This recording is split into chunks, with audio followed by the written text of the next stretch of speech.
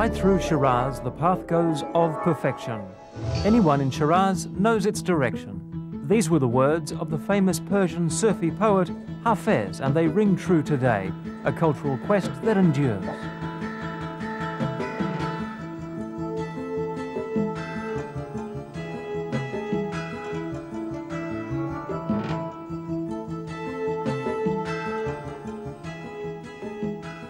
Here, proclaimed John Fryer, grow the loftiest cypresses in the universe. A visitor to Shiraz descends down the mountain way. It's a dramatic sight, blue domes, sparkling, framed by the arch of the Koran Gate.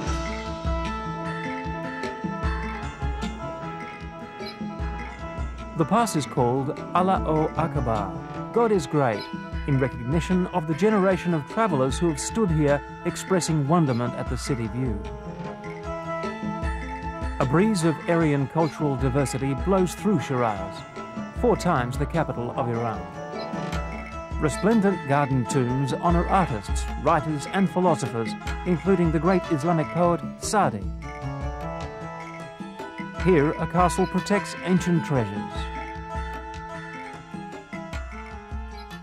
The historical importance of Shiraz can be seen at the ruins of Takhte Jamshid, better known to the world as Persepolis.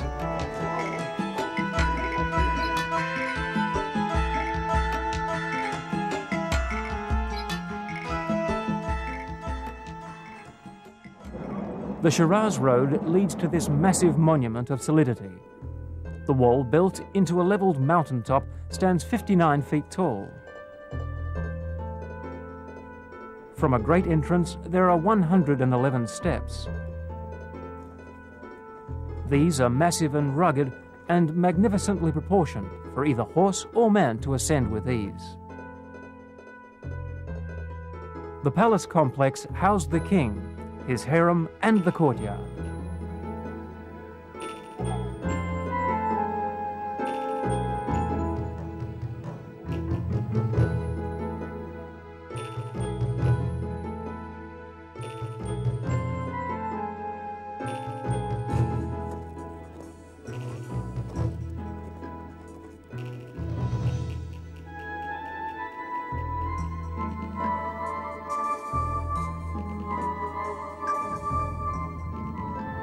Each solar new year in March, the Persian king received gifts from 23 empirical states.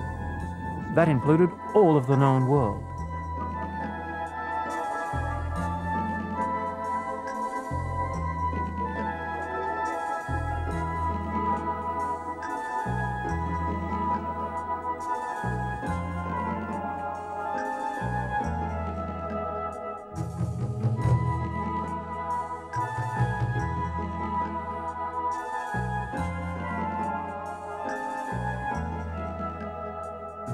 A succession of ten monarchs added buildings to the royal platform, and three palaces were built on the site.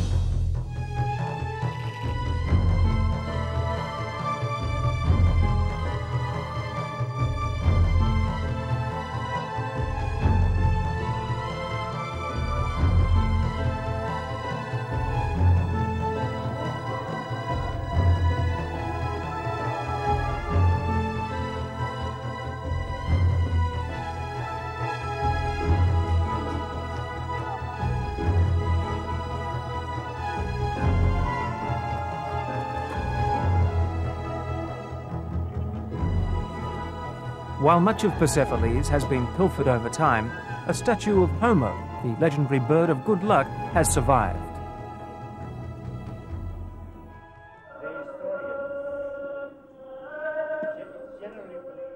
What a marvelous structure. Tell me, whatever happened to Persepolis?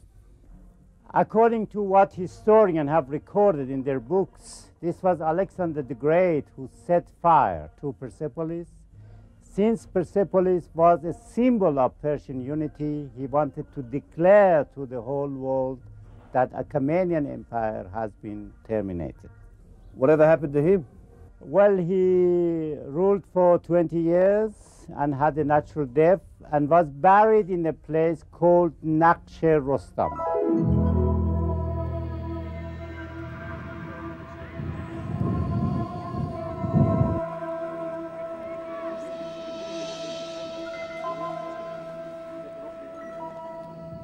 The exact date of the founding of Persepolis is not known.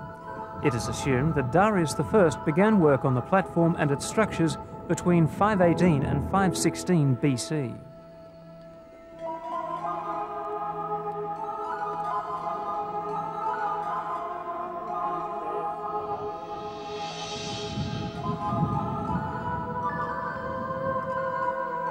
Darius visualized Persepolis as a showplace and the seat of his vast empire.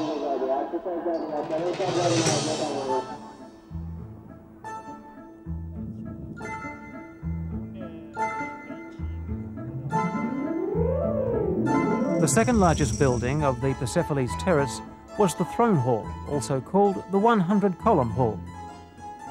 In the early days, the hall was mainly used for receptions for representatives of all the subject nations of the empire.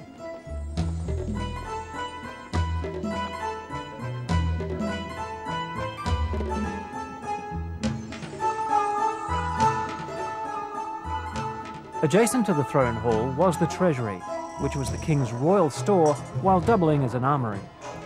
The splendour of Persepolis, however, was short-lived.